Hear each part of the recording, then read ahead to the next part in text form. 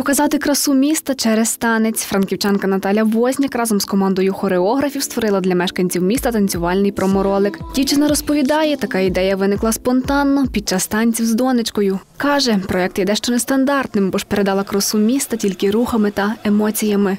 Ідея з'явилася дуже так дивно. Е, якось одного разу ми з е, донечкою танцювали під пісні онуки. І тут заграла пісня Місто.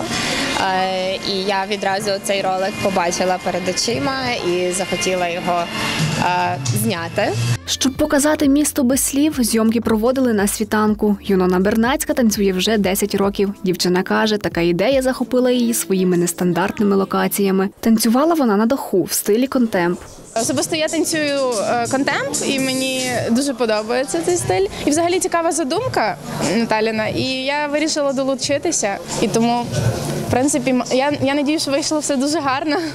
Хореограф Євген Безусов танцював на стадіоні рух. Хлопець впевнений, саме через танець можна показати місто агресивним та водночас ніжним. Відчуття були дуже круті, тому що ну це ти відчував той весь масштаб.